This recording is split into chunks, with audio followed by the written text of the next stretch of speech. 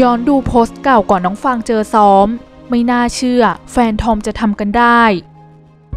จากกรณีข่าวคราวสุดคลึกโครม ผู้ใช้ Facebook ที่คำพรกาอิน โพสต์คลิปและภาพความรุนแรงของคู่รักคู่หนึ่ง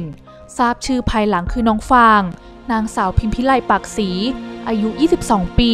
กับแฟนทอม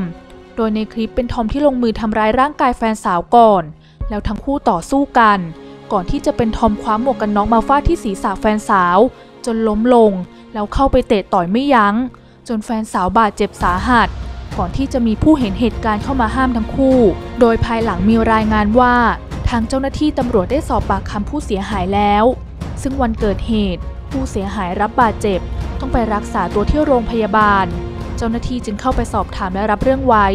หลังแจ้งความดำเนินคดีแล้ว ต้องออกหมายเรียกผู้ก่อเหตุ ถ้าไม่มาสองครั้งก็ออกหมายจับ ส่วนเรื่องที่ว่ามีการเจรจากันที่โรงพักแล้วนั้น เป็นเพียงการพูดคุยเบื้องต้นของทั้งสองฝ่าย เจ้าหน้าที่ยังไม่รับทราบ ในเบื้องต้น จะแจ้งข้อหาทำร้ายร่างกาย แต่ต้องรอผลตรวจของแพทย์ก่อน แล้วก็ยังไม่เข้าข่ายพยายามฆ่า ผู้ก่อเหตุยังไม่ติดต่อมอบตัว เห็นว่ามีการพูดคุยกับผู้เสียหายกันแล้ว แต่ยังไม่ได้ข้อยุติ จึงได้ให้ผู้เสียหายมาแจ้งความดำเนินคดี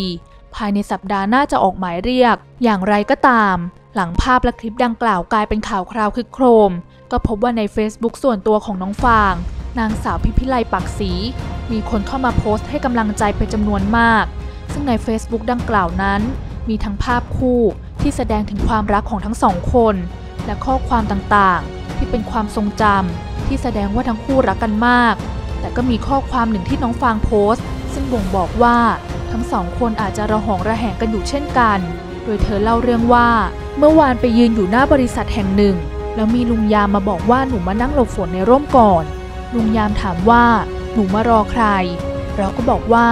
อ๋อ หนูมารอแฟนค่ะ ลุงยามบอกว่า แล้วแฟนหนูอยู่แผนกอะไร เราก็บอกแผนกแฟนไป ลุงยามบอกว่า อ๋อ เป็นทอมเหรอ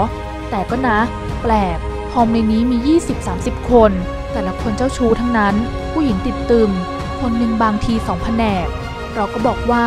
อ๋อหรอคะลุง จะมีทอมสักกี่คนที่ไม่เจ้าชู้เวลาที่มีแฟน จะมีทอมสักกี่คนที่จะซื่อสัตย์ทั้งต่อหน้าและรับหลัง จะมีทอมสักกี่คนที่ทำให้แฟนเสียใจแต่ไม่ใช่เรื่องผู้หญิง เหนื่อยจัง และนี่ก็คือข้อความของน้องฟาง ที่บ่งบอกถึงความน้อยใจที่มีต่อแฟน ทางทีมงานดีดีอินไซต์ขอเป็นกำลังใจให้น้องฟาง มีสุขภาพร่างกายแข็งแรงโดยเร็วค่ะ ฝากกดติดตามดีๆอินไซต์และอย่าลืม อย่าลืม กดกระดิ่งแจ้งเตือน จะได้ไม่พลาดข้อมูลข่าวสารดีๆค่ะ